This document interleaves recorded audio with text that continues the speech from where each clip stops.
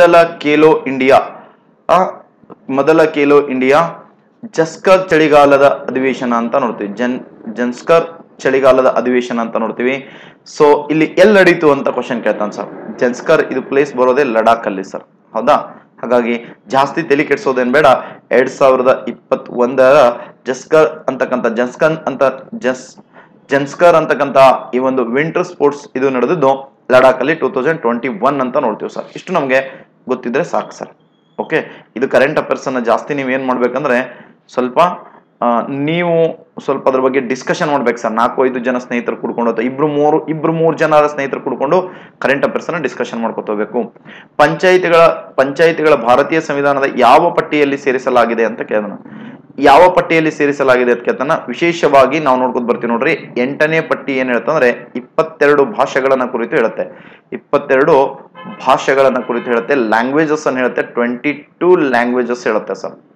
Sir, ಒಂಬತ್ತನೇ ಅನುಸೂಚಿ ಏನು ಹೇಳುತ್ತೆ ಅಂದರೆ ಭೂ ಸುಧಾರಣೆ. ಭೂ ಸುಧಾರಣೆ ಹೇಳುತ್ತೆ ಸುಧಾರಣೆ ಹೇಳುತ್ತೆ. ಸೊ ಇದು ಲ್ಯಾಂಡ್ ರಿಫಾರ್ಮ್ಸ್ ಹೇಳುತ್ತೆ ಸರ್. ಲ್ಯಾಂಡ್ ರಿಫಾರ್ಮ್ಸ್ ಸೊ ಇದಾದ್ಮೇಲೆ ಹತ್ತನೇದು ಏನು ಹೇಳುತ್ತೆ ಅಂತ ಕೇಳಿದ್ರೆ ಸೊ ಪಕ್ಷಾಂತರ ನಿಷೇಧವನ್ನು ಹೇಳುತ್ತೆ. ಪಕ್ಷಾಂತರ ನಿಷೇಧ ಹೇಳುತ್ತೆ ಸರ್. ಹೌದಾ? ಅದೇ ರೀತಿ ನಾವು ಹನ್ನೊಂದನೇ ನೋಡ್ಕೊತ ಬಂದಾಗ ಆನ್ಸರ್ ಬರುತ್ತೆ ನೋಡ್ರಿ. ಹನ್ನೊಂದನೇದು ಏನ್ ಹೇಳುತ್ತಂದ್ರೆ ಸೊ ವಿಶೇಷವಾಗಿರ್ತಕ್ಕಂಥ ಕಾನ್ಸೆಪ್ಟು ಆ, ಹನ್ನೊಂದನೇದು ಏನ್ ಹೇಳುತ್ತೆ? ವಿಶೇಷವಾಗಿರ್ತಕ್ಕಂಥದ್ದು, ಆ, ಈ ಒಂದು ಪಂಚಾಯತ್ ರಾಜ್ ವ್ಯವಸ್ಥೆಯನ್ನ ಕುರಿತು ಹೇಳುತ್ತೆ ಅಂತ ನೋಡ್ತೀವಿ ಸರ್ ಓಕೆ ಸೊ ಗುಡ್ ಈ ಕೆಳಗಿನವುಗಳಲ್ಲಿ ಯಾವುದು ನಾಗರಿಕರಲ್ಲದವರಿಗೆ ಲಭ್ಯ, ಲಭ್ಯತೆವಿದೆ ಅಂತ ಕೇಳೋಣ. ಸರ್ ನಾಗರಿಕರಲ್ಲದವರಿಗೂ ಕೂಡ ಲಭ್ಯ ಅದ ಅಂತ ಕೇಳ್ತಾನಂದ್ರೆ, ಇಲ್ಲಿ ವಿಶೇಷವಾಗಿ ನಾವು ನೋಡ್ತೀವಿ ಸರ್ ವಿಶೇಷವಾಗಿ ನಾವು ಲಭ್ಯ ಇರತಕ್ಕಂಥ ಕಾನ್ಸೆಪ್ಟ್ ನೋಡಿದ್ರೆ ಕಾನೂನಿನ ಮುಂದೆ ಸಮಾನರು. ಇದು ಎಷ್ಟನೇದು ಹೇಳ್ತದ? ಹದಿನಾಲ್ಕನೇದು ಆರ್ಟಿಕಲ್ ಹೇಳ್ತದೆ ಸರ್ ಹೌದಾ? ಹದಿನಾಲ್ಕನೇ ಆರ್ಟಿಕಲ್ ಸರ್ ಕಾನೂನಿನ ಮುಂದೆ ಎಲ್ಲರೂ ಸಮಾನರು. ವಿದೇಶಿಯರಲ್ಲಿ ಭಾರತೀಯರಲ್ಲಿ ಎಲ್ಲರೂ ಸಮಾನರು ಬರ್ತಾರ ಅಂತ ನೋಡ್ತೀವಿ ಸರ್ ತಾರತಮ್ಯದ ವಿರುದ್ಧ ಹಕ್ಕು ಅಂತ ನೋಡ್ತೀವಿ. ತಾರತಮ್ಯದ ವಿರುದ್ಧ ಹಕ್ಕು ಅಂದ್ರೆ, ಸರಿ ಇಲ್ಲಿ ಹದಿನೈದನೇ ವಿಧಿ ಬರುತ್ತೆ. ಇದು ಕೂಡ ಎಲ್ಲರಿಗೂ ಸೇರುತ್ತೆ ಸರ್ ಕಪ್ ಕರಿ ಅದಾನೆ ಅಥವಾ ಸೊ ಬೇರೆ ಕಾಸ್ಟ್ನೇ ಅದಾನೆ ಹಂಗತೇಳಿ ನಾವು ತಾರತಮ್ಯವನ್ನ ಮಾಡಕ್ ಬರಲ್ಲ ಅಂತ ನೋಡ್ತೀವಿ ಸರ್. ಆದ್ರೆ ಸಮಾನ ಅವಕಾಶ ಅಂತ ಕೇಳನ್ ಸರ್. ಸಮಾನತೆ, ಅವಕಾಶಗಳಲ್ಲಿ ಸಮಾನತೆ ಅಂತ ಕೇಳ್ತಾನ. ಈ ಸರ್ಕಾರಿ ನೌಕರಿ ಅವು ಇವು ಕೊಡ್ಬೇಕಾದ್ರೆ ಹದಿನಾರನೇ ವಿಧಿ ಬರುತ್ತೆ ಸರ್. ಅವಕಾಶದಲ್ಲಿ ಸಮಾನತೆ ಅಂತ ಹೇಳ್ತದೆ. ಇದು ಸೊ ವಿದೇಶಿಯರಿಗಾಗ್ಲಿ ಬರಲ್ಲ ಅಂತ ನೋಡ್ತೀವಿ ಸರ್. ಈಕ್ವಲ್ ಅಪಾರ್ಚುನಿಟಿ ಇದು ಯಾರಿಗೆ ಕೊಡಲ್ಲ, ವಿದೇಶಿಯರಿಗೆ ಕೊಡಲ್ಲ ಸರ್ ನಾವು. ಸೊ ಇದು ಹದಿನಾಲ್ಕನೇದು ಕೊಡ್ತೀವಿ. ಈಕ್ವಾಲಿಟಿ ಬಿಫೋರ್ ಲಾ ಅಂತ ನೋಡ್ತೀವಿ. ರೈಟ್ ಟು ಅಗೇನೆಸ್ಟ್ ಡಿಸ್ಕ್ರಿಮಿನೇಷನ್ ಅಂತ ನೋಡ್ತೀವಿ. ಹದಿನೈದನೇದು. ಇದು ಎಲ್ಲರಿಗೂ ಬರುತ್ತೆ. ಭಾರತೀಯರಿಗೂ ಜೀವ ರಕ್ಷಣೆ ಮತ್ತು ವೈಯಕ್ತಿಕ ಸ್ವಾತಂತ್ರ್ಯ ಅಂತ ಕರಿತೀವಿ. ಇಪ್ಪತ್ತೊಂದನೇದು ಬರುತ್ತೆ. ಸೊ ಇದು ಕೂಡ ಎಲ್ಲರಿಗೂ ಸಿಗುತ್ತೆ ಅಂತ ನೋಡ್ತೀವಿ. ನಮ್ಮ ದೇಶದವ್ರಿಗೂ ಜೀವ ಅಷ್ಟೇ, ವಿದೇಶದವ್ರದ್ದು ಜೀವ ಅಷ್ಟೇ ಅಂತ ನೋಡ್ತೀವಿ. ಇಷ್ಟು ನಮಗೆ ಮೂರೊಂದು ಇದ್ದದ್ದು ಆಪ್ಷನ್ ಆಗಲ್ಲ ಸರ್ ಇಲ್ಲಿ. ಬ- ಸರಿಯಾಗಿದ್ದು ಹೇಳ್ರಿ ಅಂತ ಮೂರ್ ಎಲ್ಲದ? ಇಲ್ಲದ ಸೊ ಇದು ಆಪ್ಷನ್ ಆಗಲ್ಲ. ಇಲ್ಲಿ ಒಂದು ಮಾತ್ರ ಅಂದದಕ್ಕೆ ಇದು ಆಪ್ಷನ್ ಆಗಲ್ಲ. ಇದು ನಾಲ್ಕು ಮಾತ್ರ ಅಂದ್- ಒಂದು ಮತ್ತು ನಾಲ್ಕು ಮಾತ್ರ ಅಂದದಕ್ಕೆ ಆಪ್ಷನ್ ಆಗಲ್ಲ. ಸೊ ಒಂದು, ಎರಡು, ನಾಲ್ಕು. ಇಷ್ಟು ಸರಿ ಇವೆ ಅಂತಂದ್ರೆ ಸಿ ಆಪ್ಷನ್ ಇಸ್ ರೈಟ್ ಯಾವ್ದಾಗತ್ತೆ? ಸಿ ಆಪ್ಷನ್ ಸರಿ ಆಗತ್ತೆ ಇಲ್ಲಿ ಅಂತ ನೋಡ್ತೀವಿ ಸರ್ ಎಸ್ ನೆಕ್ಸ್ಟ್ ಕ್ವಶನ್ ನೋಡ್ಕೊತ ಹೋಗೋಣ ಮೂವತ್ತೆಂಟನೇ ನೋಡೋಣ ನಾವು. ಭಾರತದಲ್ಲಿ ಮಾಹಿತಿ ಹಕ್ಕು ಒಂದು ಅಂತ ಕೇಳೋಣ ರೈಟ್ ಇನ್ಫಾರ್ಮೇಶನ್ ಅಂತ ಕೇಳ್ತಾನ. ರೈಟ್ ಇನ್ಫಾರ್ಮೇಶನ್ ಅಂತಂದ್ರೆ ಫಂಡಮೆಂಟಲ್ ರೈಟ್ ಅಲ್ಲಿ ಬರ್ತದೆ ಸರ್ ಅದು. ಎದ್ರಲ್ಲಿ ಬರುತ್ತಾ? ಫಂಡಮೆಂಟಲ್ ರೈಟ್ಸ್ ಅಲ್ಲಿ ಬರುತ್ತೆ ಅಂತ ನೋಡ್ತೀವಿ. ಪ್ರಸ್ತುತ ಅದು. ಸೊ ಫಂಡಮೆಂಟಲ್ ರೈಟ್ಸ್ ಅಲ್ಲಿ ಬರುತ್ತೆ ಸರ್. ಈ ಫಂಡಮೆಂಟಲ್ ರೈಟ್ಸ್ ಅಲ್ಲಿ ಬರುತ್ತೆ ಇದು ಹತ್ತೊಂಬತ್ತನೇ ವಿಧಿ. ಹತ್ತೊಂಬತ್ತನೇ ವಿಧಿ. So clause one sub clause ಎದಲ್ಲಿ ಹೇಳುತ್ತೆ ಸರ್. ಇದು ಹತ್ತೊಂಬತ್ತನೇ ವಿಧಿ. ಕ್ಲಾಸ್ ಒನ್ ಸಬ್ ಕ್ಲಾಸ್ ಎದಲ್ಲಿ ಏನಂದ್ರೆ ರೈಟ್ ಇನ್ಫಾರ್ಮೇಶನ್ ಅಂತಕ್ಕಂಥದ್ದು ಕೂಡ ಅದು ಸಂವಿಧಾನಬದ್ಧವಾಗಿರ್ತಕ್ಕಂಥ ಒಂದು ಮೂಲಭೂತವಾದ ಹಕ್ಕಿನಲ್ಲಿ ನಾವು ಅದನ್ನ ತಂದು ಸೇರಿಸ್ಕೊಂಡಿದೀವಿ ಅಂತ ನೋಡ್ತೀವಿ ಸರ್. ಮೊದಲು ಬರೇ ಲೀಗಲ್ ರೈಟ್ ಲೀಗಲ್ ರೈಟ್ ಅಂತಿತ್ತು. ಅದು ಬಂದಾಗ ಎರಡ್ ಸಾವಿರದ ಐದರಲ್ಲಿ ಮಾಹಿತಿ ಹಕ್ಕು ಕಾಯ್ದೆ ಬಂದಾಗ ನಂತರದಲ್ಲಿ ಅದಕ್ಕೆ ಕಮೆಂಟ್ ಮಾಡಿ ಸೇರಿಸ್ಕೋತೀವಿ.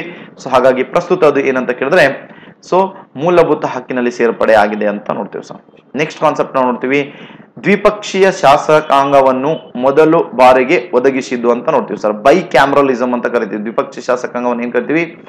ಬೈ ಕ್ಯಾಮ್ರಲಿಸಮ್ ಅಂತ ಕರಿತೀವಿ ಸರ್ ಬೈ ಕ್ಯಾಮರಲ್ ಆ ಬೈ ಕ್ಯಾಮ್ರಲ್ ಲೆಜಿಸ್ಲೇಚರ್ ಅನ್ನ ಫಸ್ಟ್ ಟೈಮ್ ಇಂಟ್ರೊಡ್ಯೂಸ್ ಮಾಡಿದ್ದು ಯಾವುದು ಅಂತ ಕೇಳಿದ್ರೆ ಸರ್ ನಮಗೆ ಎರಡು ಕ್ವಶನ್ ಗೊತ್ತಿರಲಿ. ಹತ್ತೊಂಬತ್ ನೂರ ಕಾಯ್ದೆ ಏನ್ ಮಾಡುತ್ತೆ ಅಂತ ಕೇಳಿದ್ರೆ ಸರ್ ಒಂದು ಬೈ ಕ್ಯಾಮರಲಿಸಮ್ ಅನ್ನ ಹೇಳುತ್ತೆ.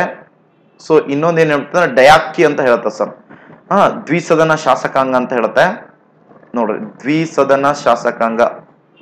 ದ್ವಿಸದನ ಶಾಸಕಾಂಗ. ಬೈ ಕ್ಯಾಮ್ರಲಿಸಮ್ ಅಂತ ಕರಿತೀವಿ ಸರ್. ಹೌದಾ? ದ್ವಿಪಕ್ಷೀಯ ಅಂತ ಕರಿತೀವಿ. ಇದಾದ್ಮೇಲೆ ನೆಕ್ಸ್ಟ್ ಕಾನ್ಸೆಪ್ಟ್ ಹೇಳ್ತದ, ಏನ ದ್ವಿ ಸರ್ಕಾರ ಅಂತ ಹೇಳ್ತದ.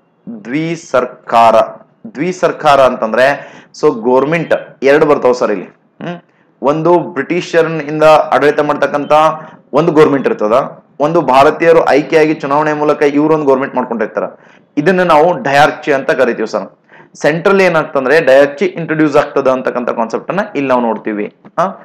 ಈ ಒಂದು ಡಯಾರ್ಕಿ ಅಂತಕ್ಕಂಥದ್ದು ಮತ್ತು ಸೊ ಇದು ಎರಡು ಕಾನ್ಸೆಪ್ಟ್ ಬಂತಂದ್ರೆ ಹತ್ತೊಂಬತ್ ನೂರ ಹತ್ತೊಂಬತ್ತರ ಕಾಯ್ದೆ ಹೇಳಿದ್ರೆ ಮುಗಿತ್ ಸರ್. ಇದಾದ್ಮೇಲೆ ನೆಕ್ಸ್ಟ್ ಕಾನ್ಸೆಪ್ಟ್ ನಾವು ನೋಡ್ಕೊಂಡು ಬರ್ತೀವಿ ನೋಡ್ರಿ. ನೆಕ್ಸ್ಟ್ ಕಾನ್ಸೆಪ್ಟ್ ಯಾವುದು ಅಂತ ಕೇಳಿದ್ರೆ ಸೊ ನಲ್ವತ್ತು. ಕುಲು ಕಣಿವೆ. ನೋಡ್ರಿ, ಕುಲು ಕಣಿವೆ ಯಾವ ಪರ್ವತ ಶ್ರೇಣಿಗಳ ನಡುವೆ ಬರುತ್ತದೆ ಅಂತ ಕೇಳ್ತಾನೆ ಸರ್. ಕುಲು ಕಣಿವೆ ಯಾವ ಪರ್ವತ ಶ್ರೇಣಿಗಳ ನಡುವೆ ಬರುತ್ತೆ ಅಂತ ಕೇಳ್ತಾನೆ. ವಿಶೇಷವಾಗಿ ನಾವು ಕುಲು ಕಣಿವೆಯನ್ನ ನಾವು ನೋಡ್ಕೊತ ಹೊಂಟೇವಂದ್ರೆ ಇದು ಸೊ ಧವಲ್ಧರ್ ಮತ್ತು ಪೀರ್ ಪಂಜಾಲ್ ಅಲ್ಲಿ ಬರ್ತದ ಅಂತ ನೋಡ್ತೀವಿ ಸರ್ ಕುಲು ಕಣಿವೆ, ಧವಲ್ಧರ್ ಮತ್ತು ಪೀರ್ ಪಂಜಾಲ್ ಅಂತಕ್ಕಂಥ ಕಾನ್ಸೆಪ್ಟ್ ಅಲ್ಲಿ ಇದು ಬರುತ್ತೆ ಅಂತ ನೋಡ್ತೀವಿ. ಇದು ನಮಗೆ ಮೋಸ್ಟ್ ಇಂಪಾರ್ಟೆಂಟ್ ಆಗಿ ಗೊತ್ತಿರಬೇಕು ಅಂತ ನೋಡ್ತೀವಿ. ಇನ್ನು ಜಸ್ಕರ್ ಮತ್ತು ಲಡಾಖ್ಗಳ ನಡುವೆ ಅಂತ ಕರಿತೀವಿ. ಕಾಶ್ಮೀರ ಕಣಿವೆ ಬರುತ್ತೆ ಸರ್ ಇಲ್ಲಿ? ಅದು ಬರ್ತಾ ಕಾಶ್ಮೀರ ಕಣಿವೆ. ಅಂತ ನೋಡ್ತೀವಿ. ಸೊ ಕಣಿವೆಗಳು ಅಂದಾಗ ನಾವು ಯೂಸ್ವಲಿ ಯೂಸ್ವಲಿ ಜಮ್ಮು ಕಾಶ್ಮೀರಕ್ಕೆ ಕಣಿವೆಗಳ ನಗರ ಅಂತ, ಕಣಿವೆಗಳ ರಾಜ್ಯ ಅಂತ ಕರಿತೀವಿ. ಅದು ಬಿಟ್ಟರೆ ಜಾಸ್ತಿ ಎಲ್ಲಿ ಬರ್ತದೆ ಅಂದ್ರೆ ಹಿಮಾಚಲ್ ಪ್ರದೇಶದಲ್ಲೂ ಕೂಡ ಸ್ವಲ್ಪ ಕಣಿವೆಗಳು ಬರ್ತವೆ ಅಂತ ನೋಡ್ತೀವಿ ಸರ್. ಓಕೆ ನೆಕ್ಸ್ಟ್ ಕಾನ್ಸೆಪ್ಟ್ ನಾವು ನೋಡ್ಕೊತ ಹೋಗ್ತೀವಿ. ಇದನ್ನ ಅಟ್ಲಸ್ ಅಟ್ಲಸ್ ಕಣಿವೆಗಳು ಅಂತ ಒಂದು ರೀಡ್ ಮಾಡಿರ್ತಕ್ಕಂಥ ಕಾನ್ಸೆಪ್ಟ್ ಇದೆ. ಇಂಡಿಯನ್ ಫಿಜಿಯೋಗ್ರಫಿ ಅನ್ನ ನಾವು ಏನ್ ಮಾಡ್ತೀವಿ? ಅಟ್ಲಸ್ ಮೂಲಕ ಹೇಳಿದಿದೆ. ಅಲ್ಲಿ ಬೇಕಂದ್ರೆ ನೀವು ನೋಡಿದ್ರೆ ಈ ವಿಡಿಯೋ ಸಿಗುತ್ತೆ ನಿಮಗೆ. ವಲ್ಕನೀಕರಣ ಪ್ರಕ್ರಿಯೆಯಲ್ಲಿ ಯಾವ ಸಂಯುಕ್ತವನ್ನು ರಬ್ಬರ್ ಮೊದಲ ರಬ್ಬರ್, ಮೊದ, ಮೂಲಕ ರಬ್ಬರ್ ಅನ್ನು ಗಟ್ಟಿಗೊಳಿಸಲು ಬಳಸುತ್ತೇವೆ ಅಂತ ಕೇಳ್ತಾನ. ಹಾ ಸರ್, ವಲ್ಕನೈಸೇಷನ್ ಅಂತ ಕರಿತಾನೆ ಸರ್. ಇಲ್ಲಿ ನಾವು ರಬ್ಬರ್ನ ಗಟ್ಟಿಗೊಳಿಸ್ಲಕ್ಕೆ ಬಳಸ್ತಕ್ಕಂಥದ್ದು ಯಾವುದು ಅಂತ ಕೇಳಿದ್ರೆ, ಸಲ್ಫರ್ನ ಬಳಸ್ತೀವಿ ಸರ್. ಸಲ್ಫರ್ ಮೀನ್ಸ್ ಗಂಧಕ. ಗಂಧಕನ ಬಳಸ್ತೀವಿ ಅಂತ ನೋಡ್ತೀವಿ. ಸೊ ಈ ಕಾನ್ಸೆಪ್ಟ್ ನಮಗೆ ಮೋಸ್ಟ್ ಇಂಪಾರ್ಟೆಂಟ್ ಆಗಿ ಗೊತ್ತಿರಬೇಕು ಅಂತ ನೋಡ್ತೀವಿ. ವಲ್ಕನೀಕರಣ ಅಂದಾಗ ಸೊ ನಮ್ಗೆ ಗೊತ್ತಿರಬೇಕಾದಂತ ಕಾನ್ಸೆಪ್ಟ್ ಯಾವುದಂದ್ರೆ ಗಂಧಕವನ್ನ ಬಳಸಿ ರಬ್ಬರ್ಗೆ ದ್ರವ ರೂಪದ ಲೆಟೆಕ್ಸ್ ಆಗಿರ್ತಕ್ಕಂಥ, ನೋಡ್ರಿ ದ್ರವ ರೂಪದ ಲೆಟೆಕ್ಸ್ಗೆ ದ್ರವ ರೂಪದ ಲೆಟೆಕ್ಸ್ ಈ ದ್ರವ ರೂಪದ ಲೆಟೆಕ್ಸ್ಗೆ ಒಂದು ನಿಶ್ಚಿತ ಆಕಾರವನ್ನು ಕೊಡಬೇಕು, ಗಡಸುತನವನ್ನು ಕೊಡಬೇಕಾದ್ರೆ ನಾವು ಏನ್ ಬಳಸ್ತೀವಿ? ಇದನ್ನ ಬಳಕೆ ಮಾಡ್ತೀವಿ ಅಂತ ನೋಡ್ತೀವಿ ಸರ್. ಓಕೆ ನೆಕ್ಸ್ಟ್ ನಾವು ಕಾನ್ಸೆಪ್ಟ್ ನೋಡ್ತೀವಿ. ವಿಕ್ರಮಶೀಲ. ಹಾ ಸರ್, ವಿಕ್ರಮಶೀಲ ಅಂತ ಕರಿತೀವಿ ಸರ್. ವಿಕ್ರಮಶೀಲ ಗಂಗಾ ಡಾಲ್ಫಿನ್ ಅಂತ ಕರಿತೀವಿ ಸರ್. ವಿಕ್ರಮಶೀಲ ಗಂಗಾ ಡಾಲ್ಫಿನ್ ಹಾ sir, Vikramshila Ganga dolphin. Ganga dolphin ಅಭಯಾರಣ್ಯ ಎಲ್ಲಿದೆ ಅಂತ ಕೇಳ್ತಾನೆ ಸರ್. ಈ ವಿಕ್ರಮಶೀಲ ಗಂಗಾ ಡಾಲ್ಫಿನ್ ಅಭಯಾರಣ್ಯ ಎಲ್ಲಿದೆ ಅಂತ ಕ್ವಶನ್ ಕೇಳಿದ್ರೆ ನಾವು ಹೇಳ್ಬೇಕು ಹಾ sir, Vikramshila Ganga dolphin. Vikramshil Ganga dolphin ಅಂತ ನೋಡ್ತೀವಿ. ಸರ್ ಯೂಸ್ವಲಿ ಗಂಗಾ ನದಿ ಬೆಲ್ಟ್ ಅಲ್ಲಿ ಇದು ಬರುತ್ತೆ ಸರ್. ಹಾಗಾದ್ರೆ ಪಶ್ಚಿಮ ಬಂಗಾಳ ಕೂಡ ಗಂಗಾ ನದಿ ಹರಿದೆ, ಬಿಹಾರದಲ್ಲಿ ಹರಿದೆ, ಉತ್ತರ ಪ್ರದೇಶದಲ್ಲಿ ಹರಿದೆ, ಈ ಮೂರು ರಾಜ್ಯ ಇರ್ಬೋದು. ಬಟ್ ಅಸ್ಸಾಂದಲ್ಲಿ ಏನಿಲ್ಲ, ಗಂಗಾ ನದಿ ಇಲ್ಲ, ಹಾಗಾಗಿ ಈ ಆಪ್ಷನ್ ತೆಗೆದಾಕಮ್ಮು. ಒನ್ ತರ್ಟಿ ಒಂದೇವು ಸರ್ ನಾವೀಗ. ಹಾ, ಏನ್ ಮಾಡಿದೆವು?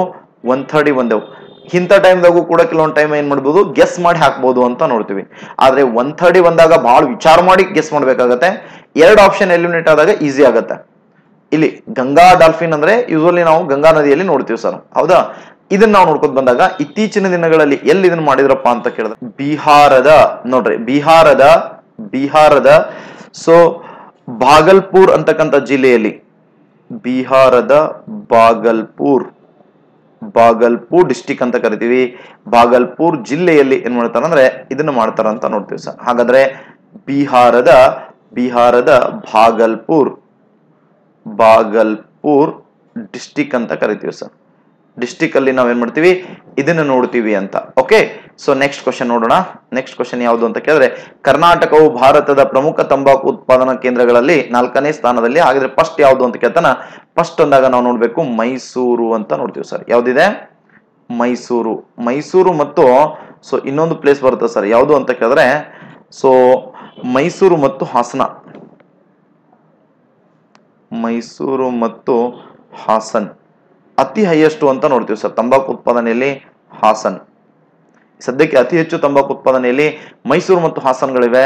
ನಂತರದಲ್ಲಿ ಸೊ ಮತ್ತೊಂದು ಬರ್ತವೆ ಅಂತ ನೋಡ್ತೀವಿ ಸರ್. ಓಕೆ ಇಷ್ಟು ನಮಗೆ ಗೊತ್ತಿರ್ಬೇಕು.